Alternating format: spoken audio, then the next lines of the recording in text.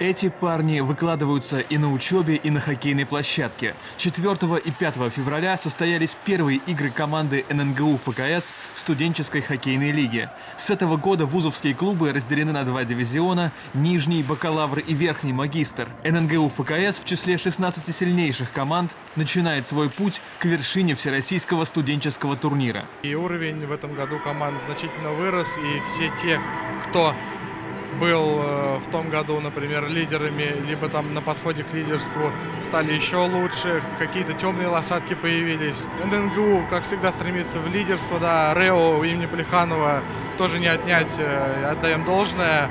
И они в лидерах. Тамбов э, своим уровнем развития студенческого хоккея заслуженно тоже сейчас на первом месте. Поэтому все еще возможно, все впереди. Борьба там очень-очень нешуточная. Студенческий хоккей среди ценителей считается самым интересным из любительских направлений этого вида спорта. Это подтверждает азарт болельщиков ННГУ ФКС. Поддерживают свою родную команду университетские преподаватели игроков. Просто здорово. Здорово. Мне шайбы, я как э, сам хочу выбежать, взять клюшку, добить, добить. Игра безумно захватывающая, а ребята все очень стараются, а ребята берут своим напором, своей харизмой.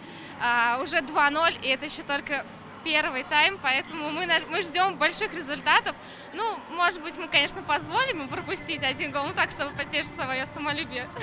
Студенты университета Лобачевского не разочаровали болельщиков. За две встречи только одна шайба оказалась в воротах нижегородцев. ННГУ ФКС дважды разгромил Московскую государственную академию физической культуры со счетом 8-1 и 8-0. Соперник организованно играет, хорошо выстроена тактика, ожидали. Но не ожидали, конечно, такого счета, но некоторые ребята у нас выпали в игре. Хороший результат показали.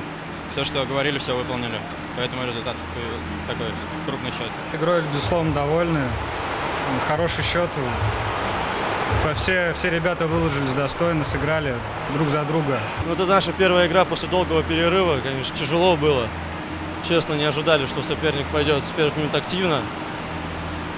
Немножко были не готовы к этому. Но потом начали играть свою игру и перетерпели, где надо было. И хорошо, удачно забили свои голы. И, конечно, для нас игры все очень важны. Каждая игра как последний бой. Поэтому нам ошибаться нельзя. Так что будем готовиться позапрошлом году наша команда стала чемпионом всероссийских соревнований, в прошлом бронзовым призером. Сейчас ребята начинают в сложной группе с РЭУ имени Плеханова, а также командами из Тамбова и Твери. Все ближайшие соперники способны играть в свою игру. Зато в этом году у ННГУ ФКС, благодаря руководству вуза и Министерству спорта Нижегородской области, есть возможность тренироваться в Фоке Мещерский. Это очень важно для студентов, которые в основном выступают в разных нижегородских нижегородских командах.